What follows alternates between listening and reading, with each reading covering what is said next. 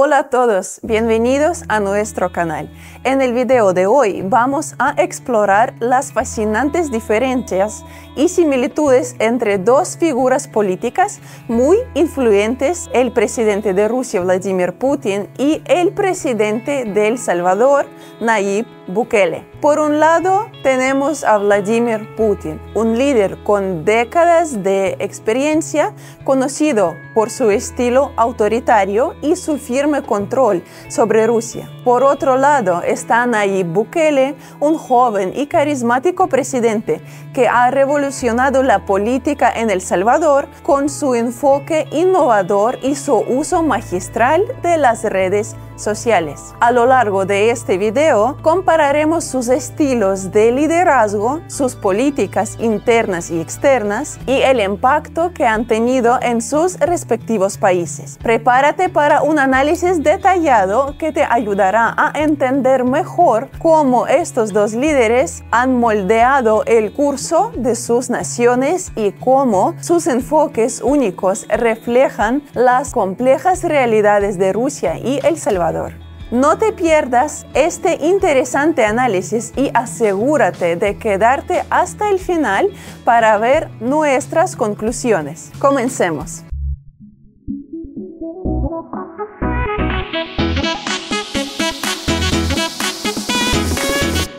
Los líderes políticos Vladimir Putin y Nayib Bukele representan figuras prominentes en el ámbito internacional, aunque sus contextos y estilos de gobernanza son notablemente diferentes. Vladimir Putin ha sido una figura dominante en la política rusa desde finales de los años 90, mientras que Nayib Bukele, un político joven y carismático, ha surgido como un líder transformador en El Salvador desde su elección en 2019. Este video tiene como objetivo explorar las diferencias y similitudes entre ambos presidentes centrándose en sus estilos de liderazgo, políticas internas y externas y el impacto de sus gobiernos en sus respectivos países. Contexto histórico. Vladimir Putin Vladimir Putin nació el 7 de octubre de 1952 en Leningrado, ahora San Petersburgo, Rusia. Comenzó su carrera en la KGB, la agencia de inteligencia soviética, y luego se incorporó al gobierno ruso en los años 90. En 1999, Putin fue nombrado primer ministro por el entonces presidente Boris Yeltsin y poco después asumió la presidencia interina tras la renuncia de Yeltsin. Desde entonces ha ocupado los cargos de presidente y primer ministro, consolidando su poder y transformando Rusia en un país con un sistema político altamente centralizado. Nayib Bukele Nayib Bukele nació el 24 de julio de 1981 en San Salvador, El Salvador. Antes de su presidencia, Bukele fue alcalde de Nuevo Cuscatlán y San Salvador, donde ganó popularidad por sus políticas innovadoras y su enfoque dinámico. En 2019 fue elegido presidente de El Salvador como candidato del partido Gana, marcando una ruptura con los partidos tradicionales del país. Su estilo directo y el uso intensivo de las redes sociales han caracterizado su mandato. Estilo de liderazgo. Putin. El liderazgo de Putin se ha caracterizado por un enfoque autoritario y una centralización del poder. Ha utilizado medios de comunicación para consolidar su imagen y su control sobre la narrativa política en Rusia. Su habilidad para proyectar una imagen de fuerza y estabilidad ha sido clave para su larga permanencia en el poder. Bukele.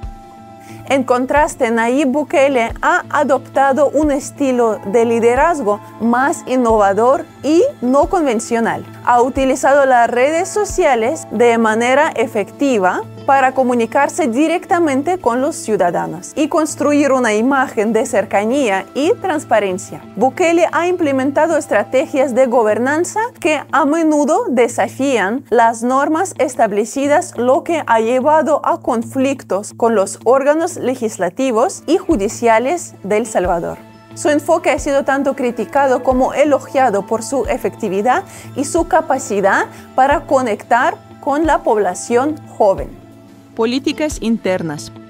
Putin las políticas internas de Putin han incluido reformas económicas destinadas a estabilizar y fortalecer la economía rusa, aprovechando los recursos naturales del país, especialmente el petróleo y el gas ha implementado políticas de seguridad estrictas para mantener el control interno, especialmente en regiones conflictivas como Chechenia. La gestión de la crisis económica y social ha sido un desafío constante, pero ha sabido mantenerse firme contra las intervenciones extranjeras, siendo muy admirado en Rusia y otras partes del mundo, generando una polaridad causada por la imagen que los medios estadounidenses han generado sobre él.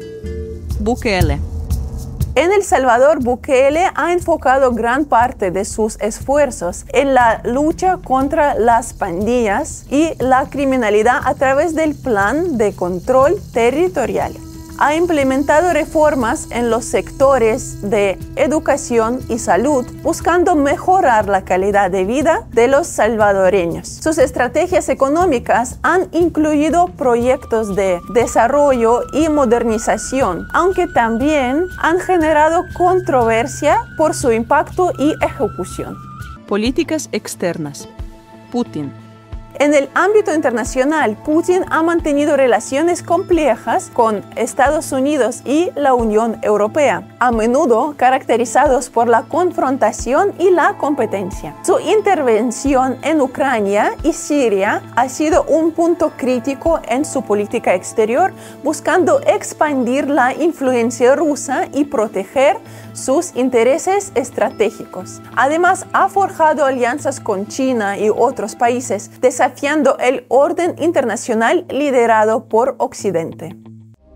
Bukele Bukele, por su parte, ha buscado establecer relaciones sólidas con Estados Unidos y China, aprovechando el apoyo económico y político de estas potencias. Ha adoptado una postura crítica frente a organismos internacionales como la OEA, reflejando su enfoque independiente y a menudo confrontativo. Las políticas migratorias y las relaciones con otros países de Centroamérica también han sido aspectos importantes de su política exterior.